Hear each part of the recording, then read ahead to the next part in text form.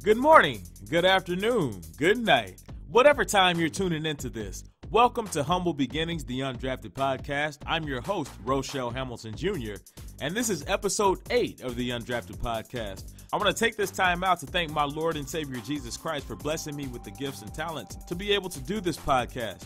I want to thank you for taking time out of your day, out of your life to come hang out with me on this podcast. On today's episode, episode 8, 8 the number of new beginnings. And it's right on time, too, because it'll be a new beginning for several hundred college players as the NFL draft kicks off Thursday, April 26th. I'll briefly discuss the biggest draft needs for my dogs, the Denver Broncos. And then I sat down with my cousin Jeremy Jones, who's a huge Cowboys fan, and a lot like me, he played football for several years of his life. I'll sit down and talk with him about what he's looking for Dallas to do in the draft his thoughts on the Cowboys year last year, what he's looking for Dallas to do in 2018, and a few other things. It's straight NFL talk today on the Undrafted Podcast. Well, episode 8 starts now. Let's get it! The draft is this Thursday, April 26th, and I'll just take a brief look at the Denver Broncos' biggest needs going into the draft. Me personally, currently, I think the Broncos need to look at drafting a cornerback. They traded Talib to the Rams earlier in the offseason. Now, they signed Tramaine Brock, uh, also, as well, in a corresponding move, they've brought in five corners for pre draft visits, which is the most visits at any position uh, before the draft. Now, they still have Chris Harris Jr., of course, and Bradley Roby as their top two starters at corner. They have a solid third in Brock, but they need to look for more depth at the position and a possible long term solution there. The no fly zone depends on having three starting quality shut down corners uh, anchoring the secondary. Position number two, quarterback. Yes, Denver signed Case Keenum for two years, $36 million. But let's be honest, two years for a quarterback is not very telling that he's your long term guy. Paxton Lynch, so far, is proving to be a bust. And they've got Chad Kelly uh, as the number three guy, but he was on injured reserve last year. So the jury's still out on Chad Kelly. Now, Case Keenum had a career year in 2017, no doubt. But it's hard to know if that was a man who was finally coming into his own, or if this was just a year that was an anomaly for a journeyman quarterback. Offensive line, specifically at the tackle and guard positions. Denver traded a sixth round pick to get Jared Veldheer from the Cardinals, and the plan is to start Connor McGovern at right guard in 2018. The Broncos have four picks in the top 99 slots, so look for them to get some O line help with one of these picks. They really like Quenton Nelson, who's the guard from Notre Dame, and Will Hernandez also from UTEP. Now, it's going to depend on what they do with this number with this number 5 pick. If Denver trades down with a team like say Buffalo who has a pick at 12 and another pick at 22, if Denver was to make that trade, I would not be surprised to see them pick O-line help in the first uh, in the first round of the draft. Now, if they can snag one of these guys like Hernandez or Nelson, their line will improve greatly. Garett Bolles, I loved the way Garett Bolles stepped up last year. He had only played, Garett Bolles played really well for a rookie in what had been a shaky line for a few years. Now, the Broncos still have Ron Leary at left guard, who's one of the best in the entire league at the position. And Matt Paradis will make his return at center. So this unit, it's on its way. It's it was improved markedly uh, in 2017 over what they did in 2016. And hopefully that improvement will just continue in 2018 with some help on the line from the draft.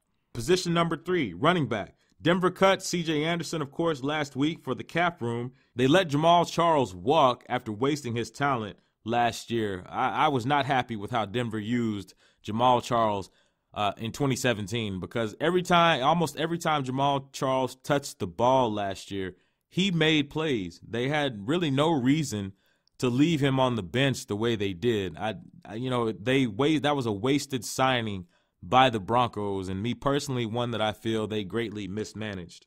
Devontae Booker will be the man at the position moving forward, and De'Angelo Henderson will be his number two guy.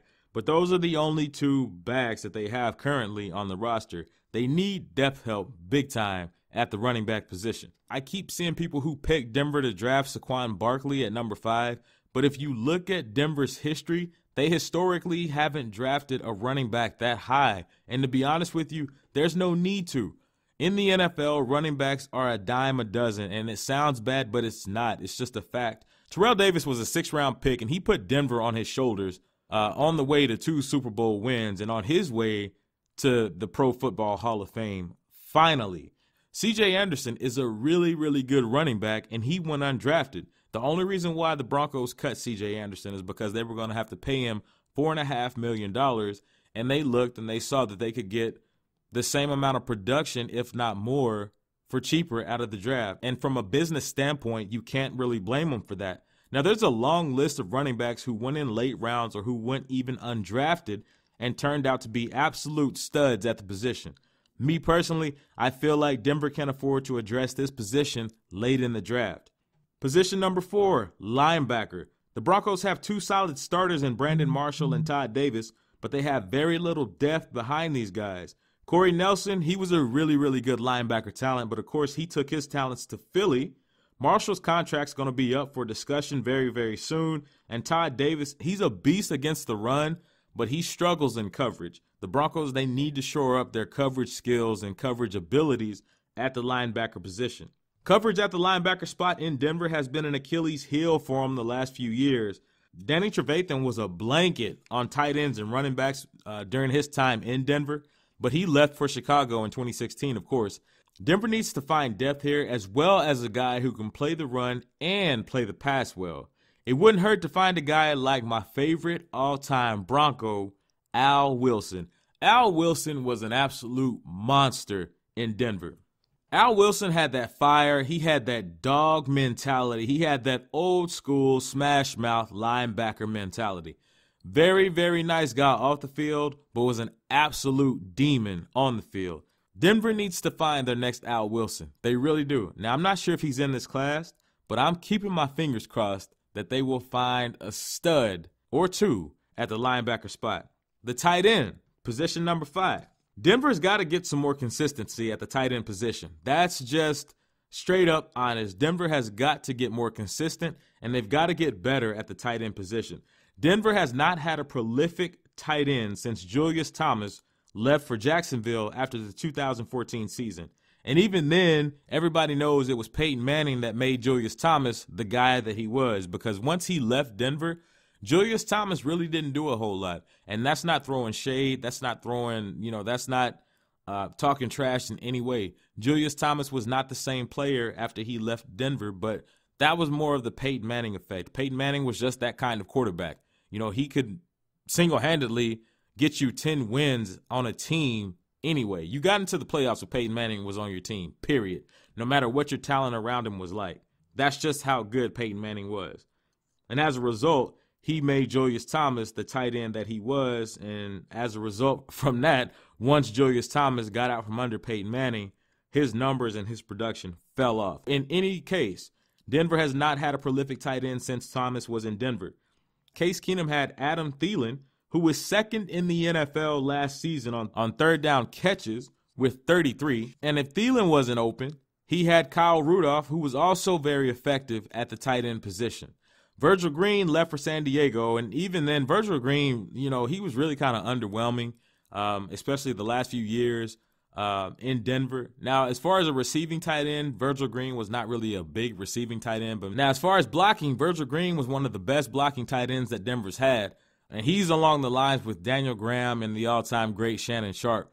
Those dudes could block. Virgil Green, now he was a, he was a wall in the running game when it came to blocking, but in receiving, you know, and, and I'm not even so much sure that you know the receiving part is on Virgil Green because Denver's tight ends were not utilized really they haven't really been utilized the last few years. They haven't been utilized correctly the last few years.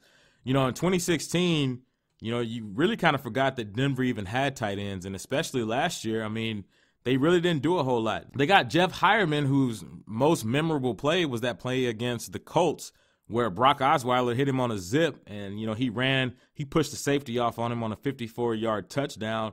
So that leaves Jeff Heuerman, Jake Butt, Austin Traylor, and AJ Derby at the tight end position. Now, the crazy thing with those four guys is between these four cats, they caught a total of 50 passes in 2017.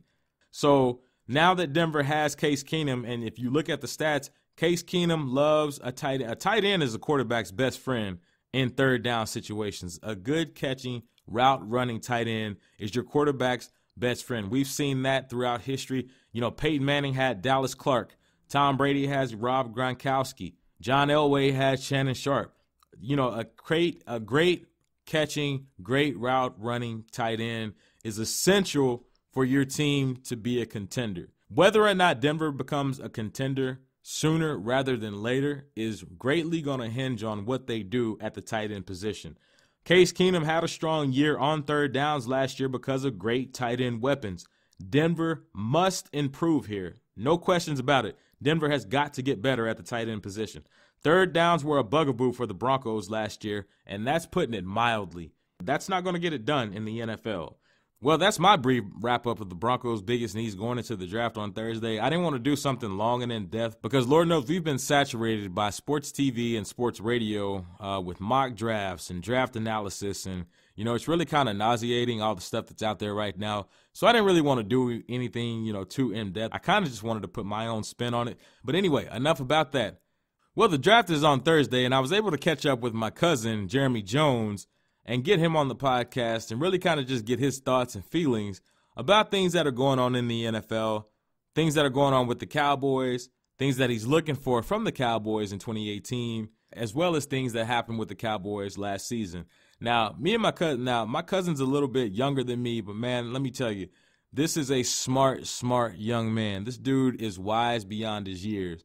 We grew up together in Amarillo, Texas, and him and his family they moved to Michigan I think it was 1998 or 1999, but we've kept in touch throughout the years. And every time me and my cousin either talk on the phone or catch up in person, I mean, it, we pick up basically right where we left off. We just kind of have that kind of connection. And we love talking about sports, we love talking about football, uh, really any kind of aspect in life. Um, you know, we really kind of just, we kind of just sit down and just discuss it.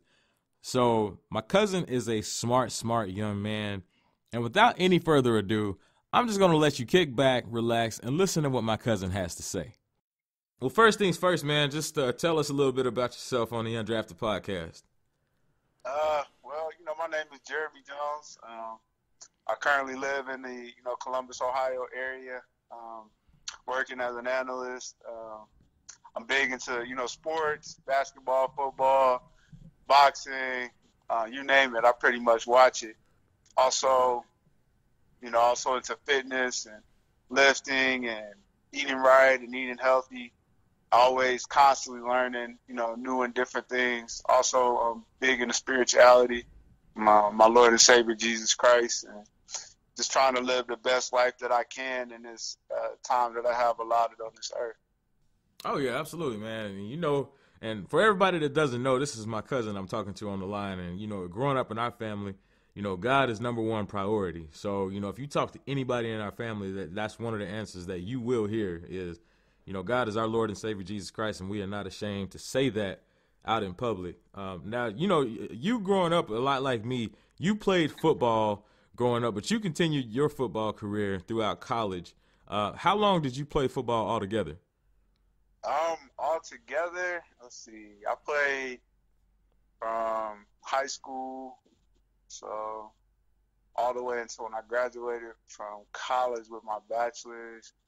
So roughly, I'd say about ten years or so, because I went to junior college for a couple years, and then I went to uh, D2 um, Urbana University for a couple years, and I played as well. So, and then also all of the uh, high school time frame as well, playing football. So I have a, a lot of experience playing at a lot of different levels. Okay, and what what position did you play in football?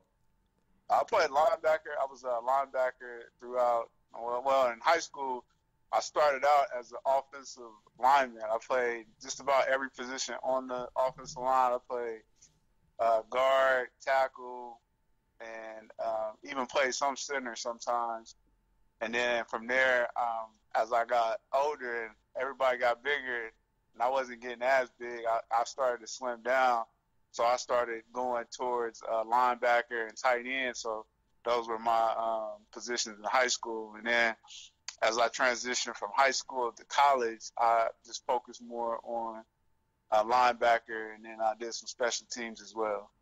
Okay, and see, man, like like me when I was playing, I I, I played offensive line for a little bit, but I ain't gonna lie, man, I hated it because I could I couldn't remember if I was supposed to be blocking to the left, to the right, or you know swinging around to around the center, or, or on which plays and which hole do I need to be blocking to, and this and that and the other. And man, I ain't gonna lie, a lot of times in practice, I'm sitting here running into the running back because I couldn't remember the plays. So finally, you know, I tell the coach, like, look, man, I can't remember all this stuff. You know what I'm saying? I'm not good at remembering this playbook. Put me on defensive line and just let me, you know, just let them snap the ball and let me just go after somebody. So he was like, all right, and on defense, I excelled. So, yeah. I mean, that's that's my experience. My experience is like I love playing defense more so than offense. I mean, I can appreciate offensive play, but I much prefer defense. So, in, in your opinion, did you like playing offense more or defense more? Um, I liked I like offense a little bit more, but uh, want to for me to fully understand defense, I, you know, especially from a linebacker aspect, I, I was important that I knew the offensive side of it because um, I did play some defensive line as well in high school. So, you know, in offense, you know, you your everything is flip flopped on defense. You know, you're you're trying to you know predict what the play is going to be. Compared mm-hmm. to offense, you know what the play is going to be, and so that's the thing that um, I liked about offense. I already knew what was going to happen and where my man was. You know, we were, you know, in the man concept or, you know, who I had in a particular zone concept, who I need to block, that I need to cut somebody. Uh, was I going out for a route or, you know, how I was going to get to the next level, at, you know, if I was going to the second level to block a linebacker or something like that. Right. Uh, with defense, you're trying to dictate that pace. So you're trying to cause disruption and so if I'm, you know, sent on a blitz and you know they hand the ball off, then that, you know, that's that disrupts me a, a bit because I'm expecting a pass play or something like that. And so you kind of, you know, you're constantly adjusting with defense and offense. You're doing a little bit, you know, you're doing adjustments as well. But uh, I feel like uh, defense, you, you know, you're always kind of like reaction. Your reaction time is is key uh, defense. But I definitely enjoy playing defense uh, a little bit more. I definitely liked hitting people more than you know blocking people. That's for sure. Man, look, absolutely. Like that. That's the thing on defense is like, man, if you can just smash folks, man, and just get to the ball, make the ball carry your pay for even carrying the ball. That was the funnest part about defense. Uh, Now, as far as like football, like you know, I, am a Broncos fan. Everybody knows that. So tell them who your squad is. hey, man, whatever, man. Watch your language. it's Broncos all day here at the Undrafted Podcast. But but you tell them who your favorite squad is. Uh, my favorite, my favorite squad is America's team, the Dallas Cowboys. yeah, man, get out of here, man. Get That's right. Uh, put some put some respect on our name for all you Cowboy haters out there. Ha! Well, I ain't gonna tell y'all no more, huh? tell them no more. All three of y'all. all three of y'all, yeah. Hey, so so speaking of the Cowboys, uh, what are your thoughts on Dallas's season back in 2017? Uh, like, what did you like? What did you like about what Dallas maybe accomplished in 2017, and what areas do you feel that Dallas needs to improve in? Um, I like how Dallas uh, fought all year for the most part. Um, okay. Even though we didn't have Ezekiel Elliott the whole time, and we were missing some players due to injury and things like that. Um, for the most part, I felt like we fought to the end to you know be in playoff position to, to be considered for a playoff spot. Um, but you know there was those games that you know we didn't show up in, and it cost us dearly towards the end of the year. And um, I like you know how our defense played with all new pieces. You know we had all basically all rookie DBs, and I felt like they did a decent job. You know, no, it wasn't anything great, right. but I said I felt like they set a solid foundation to have a good you know year this year because they played so much last year. So they're not you know traditional second year players that only play like maybe 50% of the snaps.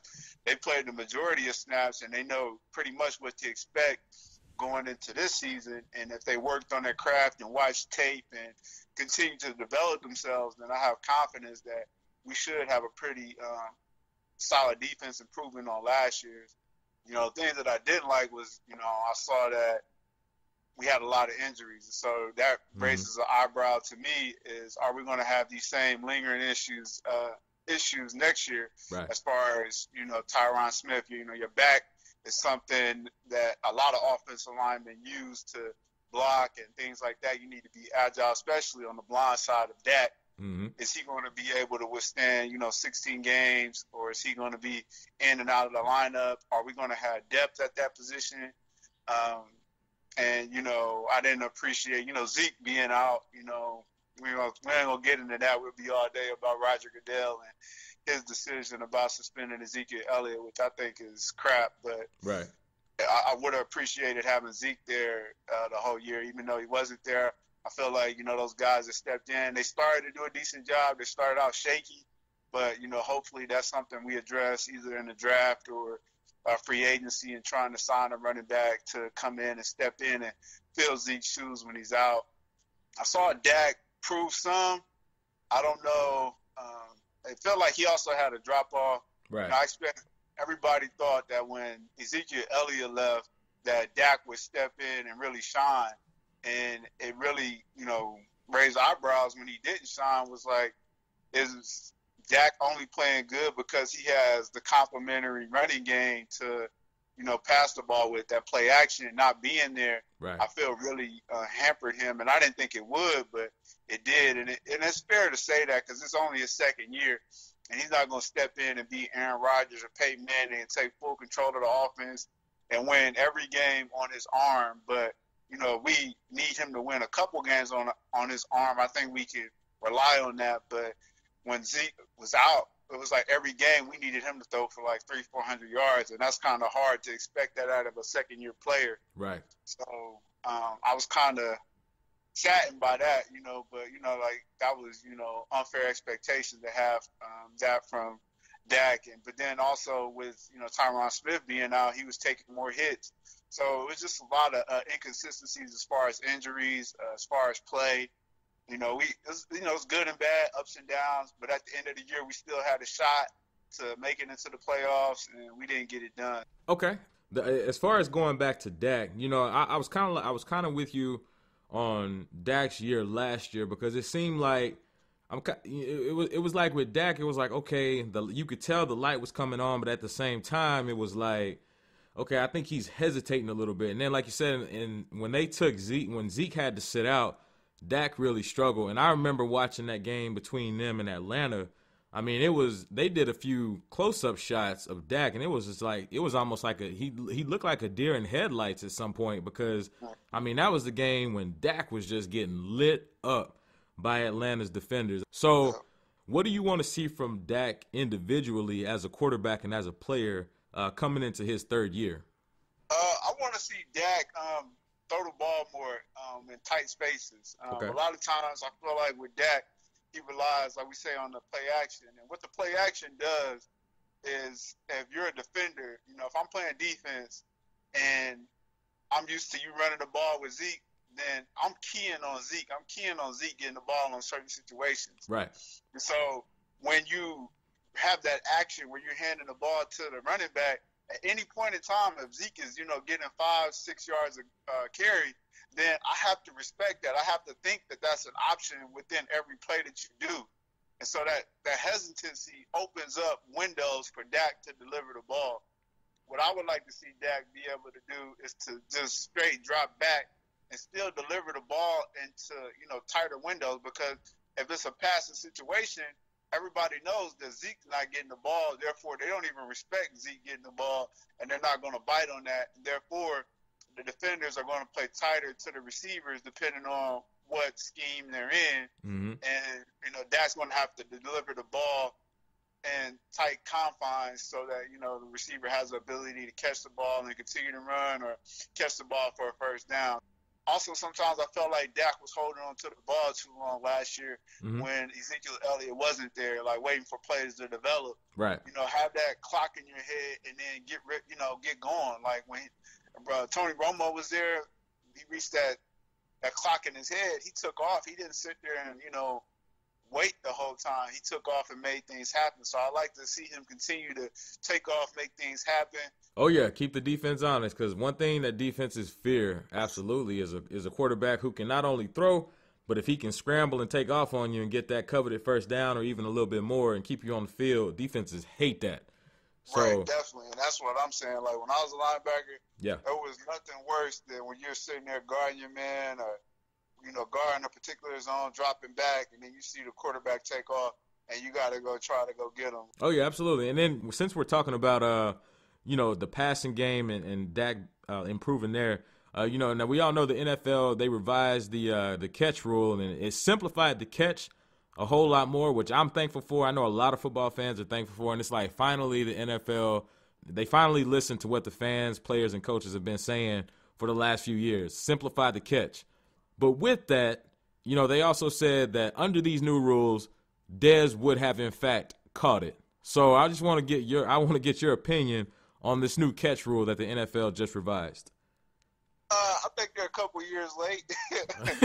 right. With, with, that catch Dez had, I mean, that was clear that it was a catch. I mean, yeah, Cowboy side, you know, Cowboy fan um, bias put aside, you know, anytime you catch the ball, you make uh, three steps and then you leap just because, you know, we may not be able to do it or, you know, the officials may not be able to do it. We shouldn't cast our physical limits onto athletes to say, oh, he wasn't doing that. He was, you know, he just dropped the ball. Like he was clearly diving for the goal line and, you know, just misplaced the ball, what have you. But I think it's good that they went ahead and changed the rule now because I got tired of watching the games with my friends or in group chats talking about plays that, oh, that was a catch. This is why it was a catch. Everybody's making their argument why they think it's a catch, and then everybody's saying, but the rule says we know. Like I know it's a catch, but the rule says. So it's kind of like it just takes that out of it. Takes that aspect out of it of guessing. Like now you know that these things are catches. You just make a full, couple football moves and it's a catch, and take all of that guessing out of the game because we don't need any more confusion than we already got. Sometimes with the calls that are clearly obvious, we have a lot of confusion. So right. just take some confusion out of it. Exactly. That's what fans have been calling for. Is like, dude, just simplify the game. We all know it's hard. It's hard to officiate football at any level because there's so much going on in such a short amount of time. So if you can simplify the game, I'm all for it. What do you think about the uh, the the targeting rule? I guess you can call it the targeting rule that the NFL enacted um, the rule that's it kind of goes off the NCAA's rule where you know if a guy lowers his helmet um, and it looks like he's basically trying to injure a dude, he can be ejected. You know, me personally, I love the rule. I think it'll help make the game safer. Uh, I just think it, it's going to be hard to enforce it, but I want to get your thoughts on it. I just think that that's going to be that's going to be something that's hard. I mean, like um, I know they're trying to make the game safer, and I you know I respect that. I think, like you said, that's going to be hard to call, and I think it would just depend on what the penalty is for lowering that head. Because sometimes, you know, for instance, when um, you have Gronk coming at you, he's six eight, mm-hmm. and you go to tackle him low, your head, you know, when you lower your body, your head lowers too. Right. So you know, it's just kind of, you know, the law of physics. Like how how am I supposed to get low and not lower my head? And uh, to me, when you put thinking into the game, that's when people get hurt. Yep. A lot of times, if you're just going out there free moving, free flowing, you don't get hurt because you're not even really thinking about what you're doing. You're just reacting. Mm-hmm. And so, when you take that reaction out of the game, then sometimes it's going to lead to somebody getting injured because now I'm thinking about how I'm going to hit you, if it's the proper way, and am I, am I going to get fined? And things like that when you shouldn't have to think about those kind of things. You should just kind of just be able to go and flow with the game. And at that point in time, you really wouldn't because injuries are going to happen. Mm-hmm. You know, even though they made these changes, people are still getting injured. Right. You know, that doesn't. People are still going to get concussions. Over time, these players are getting faster and stronger. Nobody's getting weaker and slower. Right. So with this high impact, you're moving at a high speed you got linebackers running four fours and four threes, and they're you know 240, 50 pounds hitting another 200 pound man. This stuff is going to happen. You know, right. bones are going to break at that. You know, that rate of speed. Okay. And and going back to um, Dez, I know we were talking before we started recording. Um, what did you think about the Cowboys releasing Dez? I thought the Cowboys releasing Dez is what needed to be done. I would I expected it sooner. I expected it as soon as free agency started that they released Dez because of his drop off in produ- uh, production. But I didn't expect them to keep uh, him for as long as he did. So after they kept Dez for so long, I said, "Oh, okay, we're going to keep Dez for another year, mm-hmm. give him like this, you know, winner takes all opportunity, and maybe um, ask him to take a pay cut and see how he feels about taking a pay cut." Then I started reading reports that Dez was going to get cut before or after the draft, and I was like, "That's kind of silly. Why would you cut somebody after the draft?" And so I think that next week he got released, and then I was like, "Wow." So I thought it was kind of messed up the way the Cowboys handled it.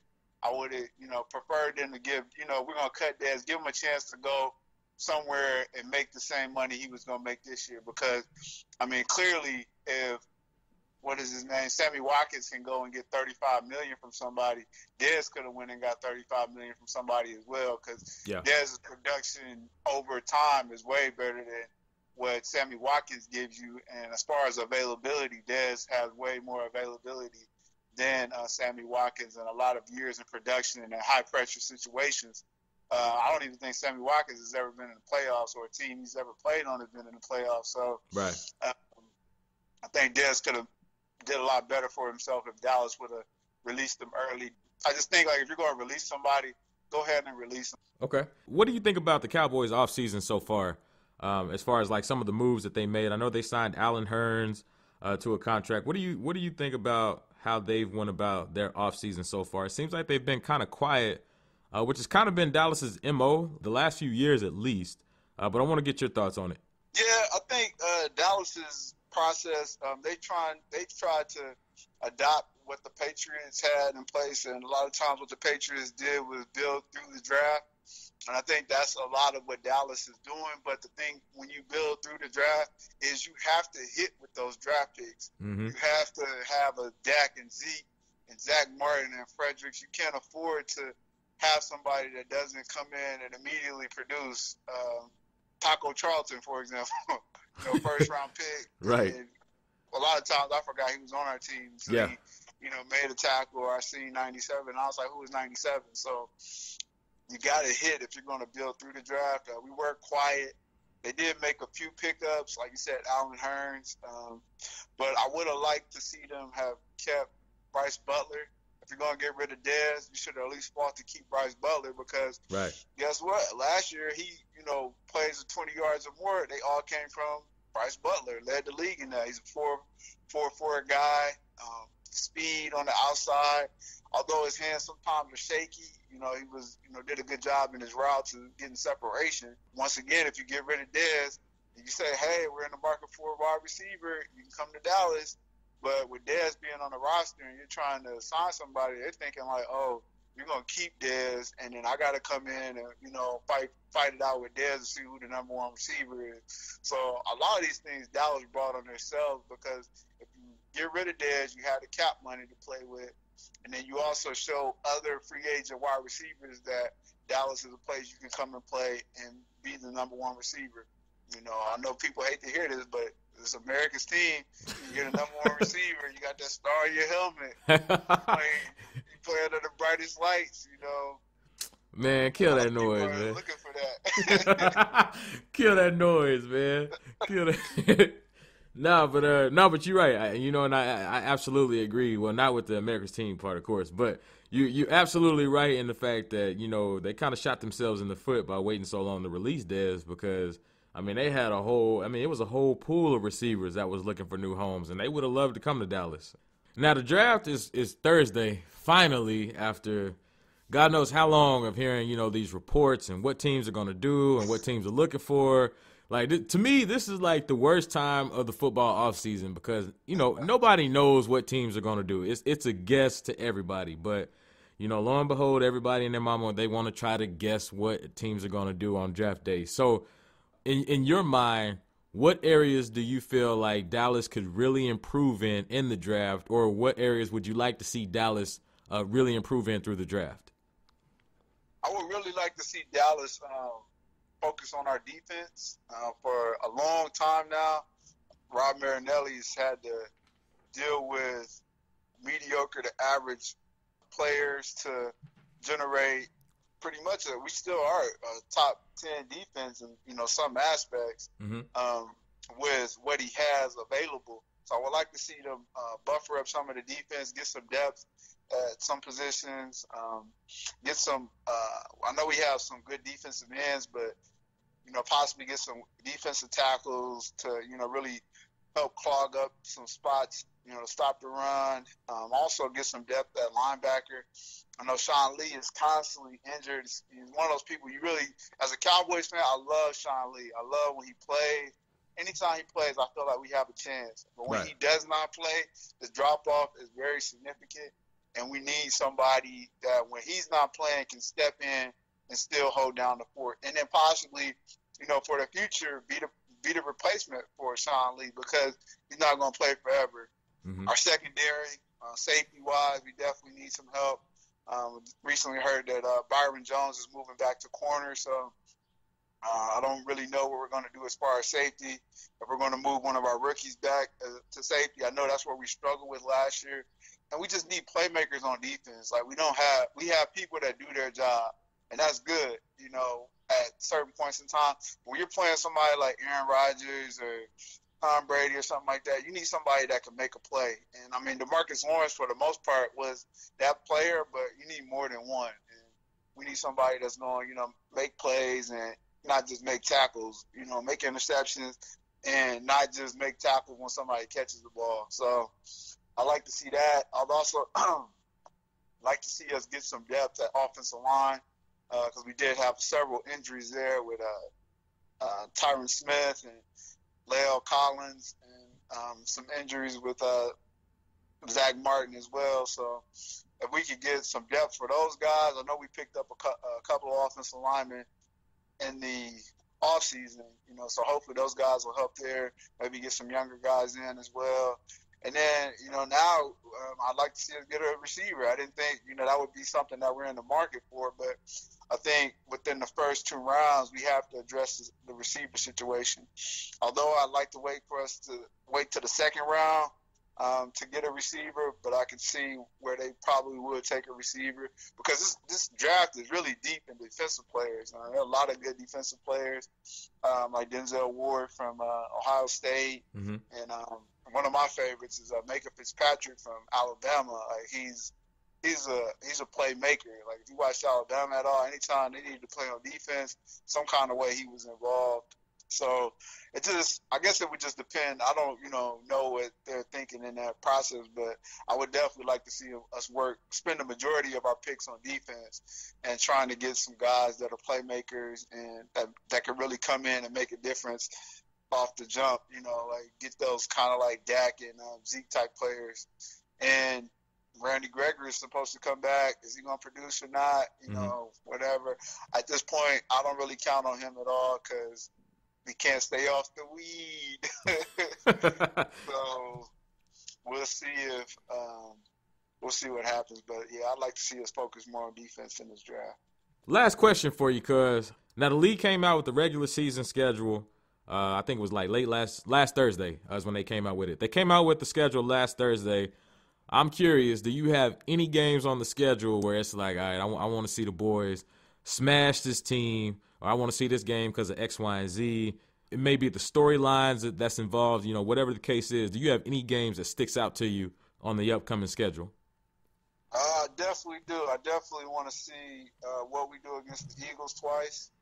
Okay. Um, because for one, I've been listening to the Eagles fans talk all year last year about them winning the Super Bowl and right. all this other kind of stuff. And where the Cowboy fans at now? They're quiet. So um, it'd be interesting to see what happens when Zeke is in the lineup uh, because I think the one time we did play them, you know, they were resting their starters for the playoffs. So, you know, now that they have a, um, a Super Bowl win, it'd be interesting to see what you know how we come out against those guys. I think it'll be a good uh, measurement for us to see where we are um, in that particular time of the year. Um, also, I see that we play Atlanta, and I definitely want to get some get back against Atlanta uh, for those guys. You know, to sack Dak several times. I feel like if he didn't get sacked that many times, we probably could have won that game because we were in it for a large majority of it. Right. Um, so I'm definitely looking for those two. I got those circled. Um, I did have the Jaguars circled as well because of their defense, and um, you know I wanted to see uh, Jalen Ramsey go up against Dez Bryant. Being that Dez Bryant is no longer there, they do have Allen Hurns, which did come from Jacksonville. So I would be interested to see how we match up against their defense, uh, how we perform there, and um, I think those are the only ones that I could rightfully remember off the top of my head that I'm really looking forward to. I'm definitely just looking forward to having all the guys back and being able to see how we do we make that next step and go, you know, starting off from where we left off a year or so ago in 2016. Where do we, you know, are we still that team? Are we more so of the 2017 team? So um, I, I really want to see where we, which direction we're trending. That'll be, you know, a big tell for me. All right, hey man. Well, that's that's all my questions. Do you have anything else you want to add? Uh, I do have one thing that I want to address. Uh, I see a lot of projections for quarterbacks, and you know everybody's talking about Baker Mayfield here, and mm-hmm. Sam Darnold here, and um, Josh Allen, and all these other guys like that going in the first pick, and I never hear Lamar Jackson. Right. Never. Right. Like he's not even the third quarterback people mention. People mention Josh Allen, um, Josh Rosen, Sam Darnold, Baker Mayfield, and never mention Lamar Jackson. Lamar Jackson won the Heisman.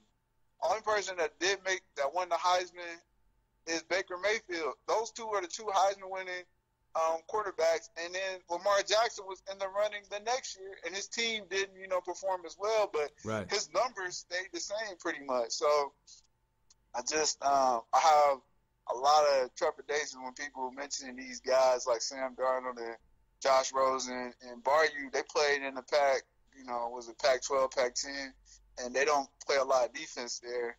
Lamar Jackson played in one of the best conferences in the ACC with Florida State and Clemson. And, you know, he's still putting up these kind of numbers, and I really think he's really getting overshadowed. I really think he is him and Baker Mayfield are the two best quarterbacks in the draft whoever lands, lands those two guys, they are going to improve their team drastically.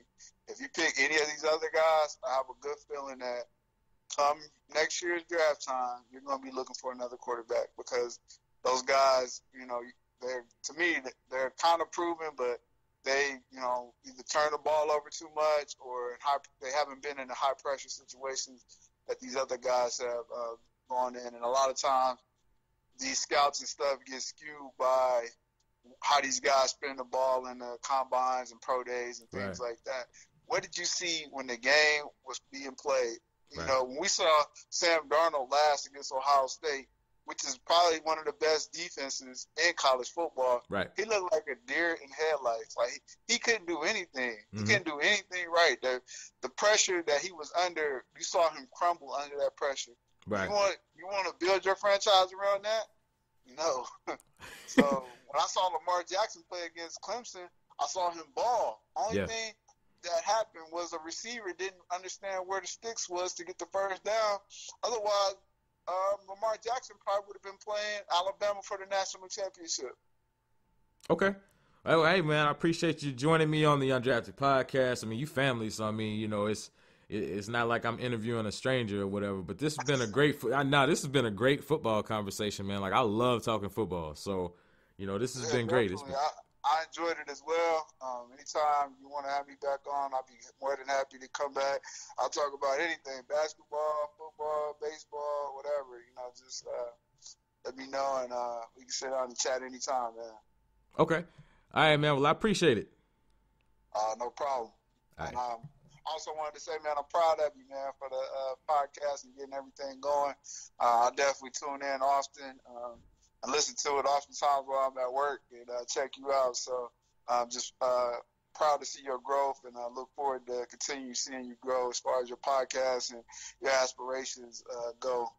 Hey, man, well, I really appreciate that, man. That's that's family love, man. You you touching me in my heart. You know, you give me a little teary eyed. No, no, but no, but for real, I really do appreciate that. It means a lot to have support, especially the support of family. So I really do appreciate that. I have no idea where this is gonna go. Like I say, this is a leap of faith, and I'm gonna take this thing as far as God lets me. So I, I appreciate your support. Yes, sir, no problem, man. Thanks again to my cousin Jeremy Jones for taking time out of his day to join me on the Undrafted podcast. Greatly appreciated, cuz. Well, that's a wrap for episode 8 of the Undrafted Podcast. I want to take this time and thank God for blessing me with the gifts and the talents to be able to do this. Thank you for taking time out of your day to hang out with me on the Undrafted Podcast. And remember, do your best and let God handle the rest. Be blessed.